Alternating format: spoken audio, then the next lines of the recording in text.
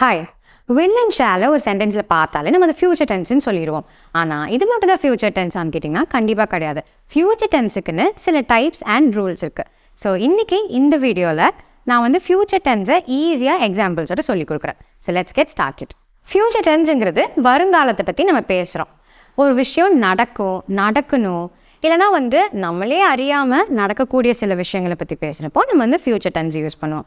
இந்த ஃபியூச்சர் டென்ஸில் நாலு டைப்ஸ் இருக்குது simple future tense future continuous future perfect and future perfect continuous tense இதெல்லாம் ஈஸியாக எக்ஸாம்பிள்ஸோட பார்க்கலாம். Type one simple future tense so ஒரு விஷயம் இனிமேல் தான் நடக்க போகுது அப்படிங்கிறத நம்ம சொல்கிறதப்போ சிம்பிள் ஃபியூச்சர் டென்ஸ் யூஸ் பண்ணுவோம். Say for example I will come tomorrow நான் நாளைக்கு வருவேன்.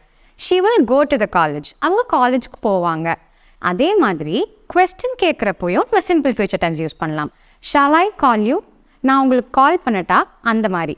ஸோ வில்லுக்கும் ஷாலுக்கும் ஒரே அர்த்தம் தான் ஆனால் ஷால் யூஸ் பண்ணுறப்போ இன்னும் கொஞ்சம் பொலைட் ஃபார்ம் ஆஃப் சென்டென்ஸில் இருக்கும். Type two future continuous tense ஒரு விஷயம் ஃபியூச்சரில் ஸ்டார்ட் ஆகி இன்னும் கண்டினியூ ஆகிட்டு இருக்கு அப்படிங்கிறத ரெப்ரசென்ட் பண்ணுறது தான் future continuous tense say for example CSK நாளைக்கு மேட்சை இந்த டைமில் ஸ்டார்ட் பண்ணி விளாடுவாங்க.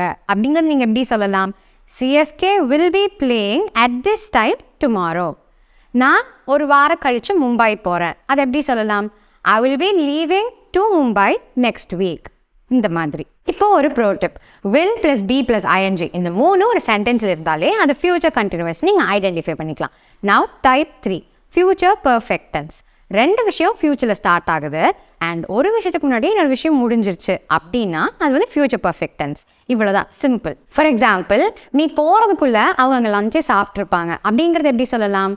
They will have eaten their lunch by the time you get there அதாவது நீங்கள் போகிறதுக்குள்ளே அதுவும் ஃப்யூச்சர் தான்.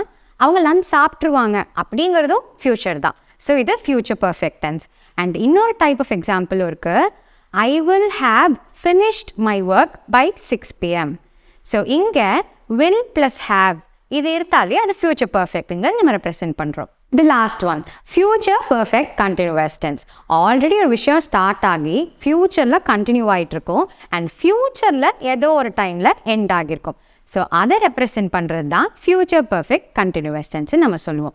Say for example twenty twenty six வந்தால் நான் கோயம்புத்தூரில் இருபது வருஷமாக இருக்கேன். அப்படிங்கிறது எப்படி சொல்லலாம்?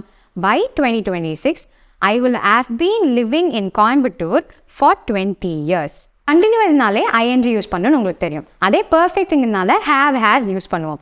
ஸோ இது பர்ஃபெக்ட் கண்டினியூஸ் அப்படிங்கிறனால have plus been plus ING use பண்ணுவோம். அண்ட் ஃபியூச்சர் பர்ஃபெக்ட் டென்ஸுங்கிறதுனால வில் ஹேவ் பீன் ப்ளஸ் ஐஎன்ஜியை யூஸ் பண்ணணும் ஒரு சென்டென்ஸில் ஒரு குவிக் ரீகேப் போய்க்கலாம். Simple future I will complete the work future continuous I will be completing the work future perfect I will have completed the work future perfect continuous I will have be completing the work by next week இவ்வளோ தாங்க future tense டென்சஸில் twelve types and அதோட explanation எல்லாமே எங்கள் பேஜில் அவைலபிளாக இருக்குது பார்க்காதவங்க do check it out and இதே மாதிரி இங்கிலீஷை ஈஸியாக கற்றுக்கிறதுக்கு ஆங்கிலோ ஃபோன் பேஜஸ் ஃபாலோ பண்ணுங்கள் Anglophone. யார் phone is your English teacher